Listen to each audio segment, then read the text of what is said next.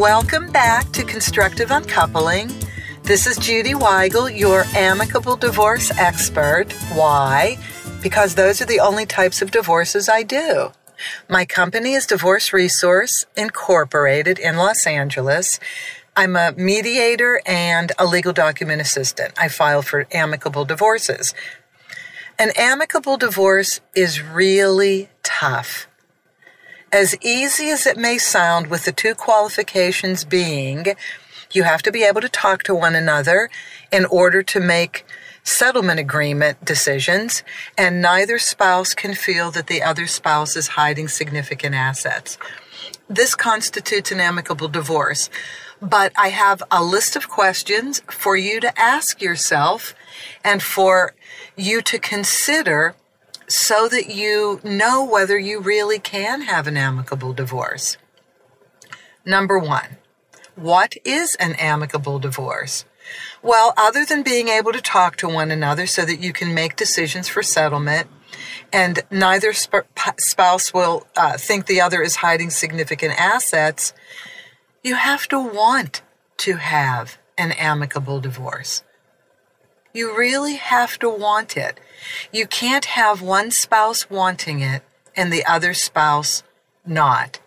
You both have to be participatory. That happens after a lot of work is done and maybe some time passes from the point where you decided to have a divorce to the time you file for a divorce. Number two, what is mediation? Well, I get a lot of calls. People say they want to be divorced by a mediator. Mediators can't get you divorced unless they have the additional license of being a legal document assistant or an attorney. But a mediation essentially is a conversation and a negotiation to establish a settlement for the divorce. Three, is it possible to get to a place of having an amicable divorce if we really can't communicate now? Yes, it is possible with forgiveness and time, or at least the elimination of blame and time. Patience is the virtue that we all have to focus on when we're going through divorce. Number four, what if I can't let go of the reason for the divorce? Well, understand that we all do the best we can at any time. And sometimes our best isn't very good. So don't blame your spouse. You just have to at least for the divorce, let it go, make your decisions, move on. And then maybe therapy afterwards will be extremely helpful to, compart- to compartmentalize and maybe to see if you had any part in the divorce. Generally, it takes two, not always, but you may have had a part in the divorce that if you reconcile with that, you can at least move forward. Number five, if we do qualify for an amicable divorce, where do we start? You have three choices in how to file for any divorce the Court Self Help Center or online self help, legal document assistance like myself, and attorneys. Number six, let's focus on what you do as a legal document assistant explain the service and the process you offer. That I get that a lot. Well, a legal document assistant is a paralegal on steroids. You have to be a paralegal first, and then you have to get a bond for at least $25,000 and a separate license as a legal document assistant. And all you can do is file. You can't help people with their settlement terms only mediators can and attorneys. You are limited in terms of the extra assistance you can give people, but you are perfect for people who don't need to mediate or have done all the hard work and just simply want somebody to file so that they don't have to go through the extraordinary headache of doing it themselves. Number seven, how and when is mediation introduced into the divorce filing process? Okay, this is really good because it, it can be at two different times. It can be before you file. If it's before you file, though, you really have to know what assets the um, the state that you're in, or at least California, that's where I'm in. You have to know what the state considers assets and what the state considers debts, because that's what you're going to be dealing with in a settlement. You also Oh, the I'm sorry. The other place would be after you start the filing. And you exchange what we call disclosure forms. Disclosure forms are your best friends, pain in the neck to fill out, but your best friends in terms of figuring out what you have to divide and the values that go along with that.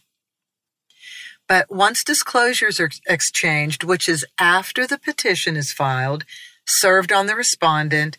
And after the response is filed, then you do your disclosure forms and then you can mediate because then everything is exchanged. Everybody knows what's going on. And it's so much easier to engage in mediation, especially for the mediator to see everything laid out, whether it's separate property, community property, quasi community property, part community, part separate so much easier after both people have exchanged disclosure forms. Number eight, can everyone mediate?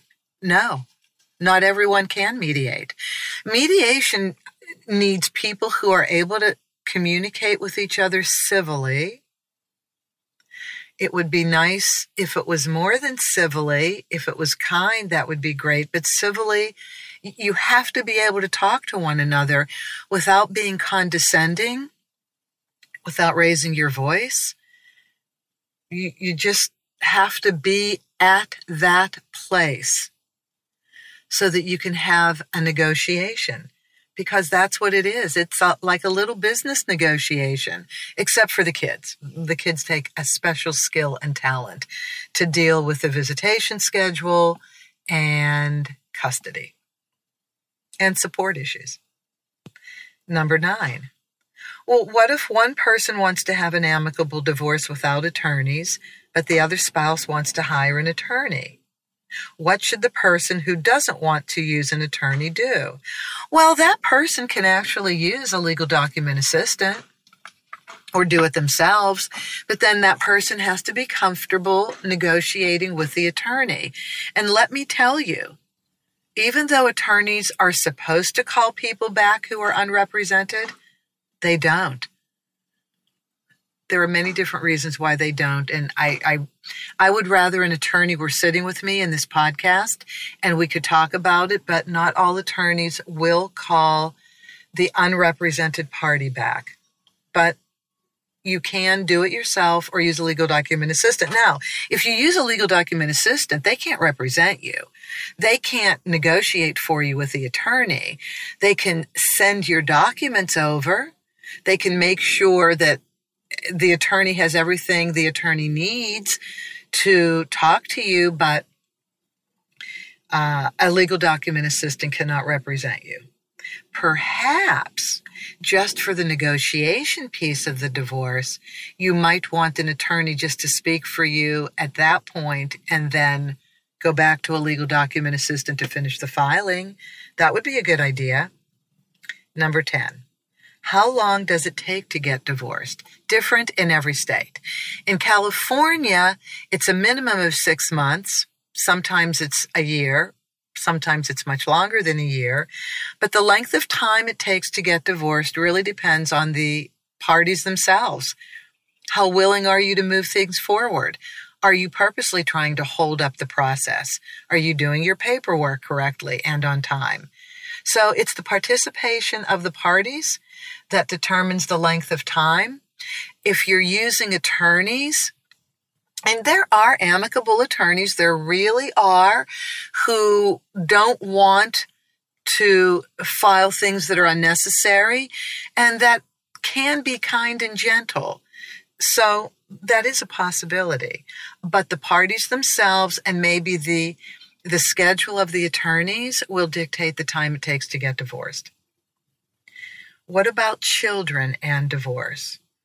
Tips for parents about to start the divorce filing and how to discuss this with their children. Oh, this has got to be the hardest conversation in the world. I don't envy anybody telling their children that they're going to get divorced, but this is the most important thing. Be united. Be kind to each other while you're talking to your children. Make sure you tell your children it's not their fault and there's no blame. They had absolutely nothing to do with it. And tell your children that you will always be a family. Your parents may not always be married, but you will always be a family. You'll just have two homes and more things. And just try and show the advantages. I know. what advantages? Try and show the advantages. Well, the advantage would be honestly, there's no more arguing in the house. Even when I talked to my my nephew who was 3 years old when my sister got divorced, he remembered the arguing and he even said it was wonderful when there were two homes. It cuz the arguing stopped. And I I think kids know for the most part what's going on. They more than likely don't want you to get divorced. They want you to stop arguing, but make sure your kids know you're still going to be a family. Number 12, how do you mediate when people in an amicable divorce have very different views on a co parenting plan? Well, two things. You show them different parenting plans. If they're if the children are really young, you just simply explain whatever parenting plan you come up with now, it's going to change. As children grow older, they dictate who they want to be with, and their schedules dictate how their parents, with their working schedules, can underscore the children's schedules. So you have to get ready for a lot of change. But if it's really, really, really tough because maybe one parent has a personality disorder or maybe both, maybe they're just not thinking clearly, maybe they're unrealistic, I send them to a person named Dr. Kathy Memel. She has her office in Beverly Hills. She's the go to person for highly contentious parents or parents that may be stuck because they have to unstuck their views on family because of what they learned from their own family. She's marvelous. I can't say enough about her. Number 13. What are the greatest challenges people experience in a divorce, even an amicable one? That's easy.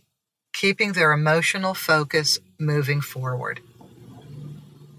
That's really hard because anything can trigger the emotions of a divorce and it keeps coming up. It's an emotional roller coaster. It's an emotional juggling ba- match, using little metaphors from my days with the circus, but it's true. People go through divorce at different emotional paces. And that in and of itself makes them hard to reach, makes them not want to do their paperwork quickly. And people need time to make decisions. So the emotions of a divorce are the biggest challenge. Number 14. What should someone do if their soon to be ex spouse starts acting strangely, different than their standard behavior? Have them, re- have them read a book called The Good Karma Divorce by Judge Michelle Lowrence, L O W R E N C E. She used to be a family law judge in Illinois. And she wrote a book called The Good Karma Divorce. It is the best book I've read to understand why spouses start taking on different behavior in a divorce. It's mostly as a self protection mechanism. We all go in fear mode, therefore, we all go in protection mode. And to understand that allows you to be patient. And again, that's what we need is patience. But that book is exceptional. Number 15. How should people keep themselves in a positive state of mind while going through divorce? Do positive things. Literally do positive things. Go dancing, listen to music, take exercise classes. So exercise is phenomenal.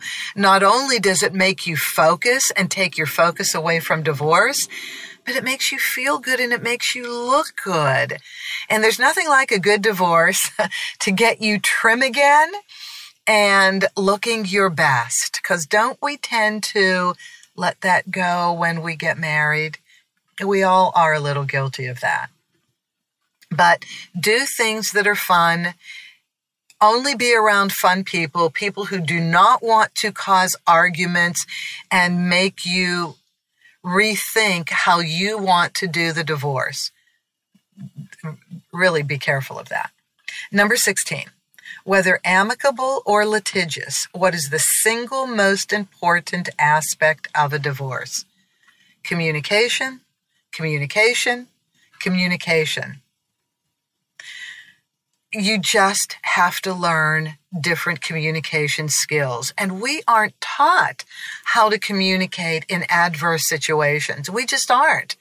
But one of the best ways to communicate in adverse situations is to stop blaming, stop being mean, stop being condescending, stop referencing in a passive aggressive way the bad behavior, in your opinion, of your soon to be ex spouse well, here's the other thing how to handle a lack of communication or participation in one spouse. That's really tough. But here's the deal in divorce, at least divorce filing in California, there are time requirements for when things have to get done. So that time requirement in and of itself will force spouses to participate or you end up going to trial. I mean, there's no, no other way to do it but be gentle, be patient, maybe even say to the spouse who is having a hard time communicating, please take your time. When you're ready, I'm ready. Just doing that, just reaching out and saying that you want your spouse to take time, that may unlock the, um, you know, the wall. That may that may uh, allow the wall to be put down so that communication can start. Or you just start being different with your communication, kind and gentle. And that could help too. Number 17. Are there any books you would recommend to have an amicable divorce? Well, I just told you about the Good Karma divorce, but there's a gentleman that uh, has written a gazillion books, and they're all unbelievably fabulous. Go on Amazon, um, look up Bill Eddy, E D D Y, Bill Eddy. This man has written the best books on how to understand the emotions of a divorce, how to understand your spouse who may have personality disorders, how to handle that. Bill Eddy is the best author known to mankind. So, The Good Karma Divorce by Judge Michelle Lowrence, and Anything by Bill Eddy. Number 18. Do attorneys and therapists have a place in an amicable divorce? Well, you betcha. I think everybody should use a therapist while going through divorce because your emotions are all over the place. You need somebody to center you and to really help you look at the root of your behavior in the marriage and how that can affect the divorce and your spouse's behavior in the marriage and where that root came from. When you can start understanding each other, that is one of the best things you can do to move everything forward and start being amicable. And attorneys, I don't like demonizing attorneys at all. Attorneys are super important in divorce. They can give you your legal rights. A mediator shouldn't, and a legal document assistant definitely shouldn't. But you should really go to an attorney, first of all, to get your legal rights and get the, the lay of the land on how divorce works in your state. But also, you'll get to see whether you like this type of relationship you know, whether you want an attorney client relationship to do the whole divorce. Maybe you do, maybe you don't. But I think everybody should have a go to attorney on the side that you can just call and just say, Give me the law so that you can go into a mediation or into a discussion with your spouse with informed consent to make whatever decisions you like, even if they're not straight law in your state. And lastly, number 19. How should people pre- prepare for an amicable divorce? By stop hating your spouse, by stop blaming your spouse, by putting yourself in a positive frame of mind, by using a lot of self reflection to see what your participation was in the marriage. Maybe you chose the wrong partner, just starting with that. You know, that's responsibility, choosing the wrong partner, then nothing can really be right. Or just realizing again that everybody does the best they can in life, and sometimes our best just isn't good enough. But to prepare for an amicable divorce, just say, I really want to have an amicable divorce. I want to be able to talk this out. I want us to be able to get to a place where we don't blame each other. It's, it might sound easy, but it's really the hardest thing ever. But when you can do that, you can use this skill that you've developed in all other relationships, whether they're personal or business or social. This will really help you throughout life. Thank you very much once again for joining me, Judy Weigle with Constructive Uncoupling. In uh, my company is Divorce Resource Incorporated in Los Angeles. Please feel free to email me any questions or comments or maybe topics you would like to hear on the podcast. My email address is Judy, J U D Y, at Divorce Resource com. That's Judy, J U D Y, at divorce resource inc.com. Talk to you soon.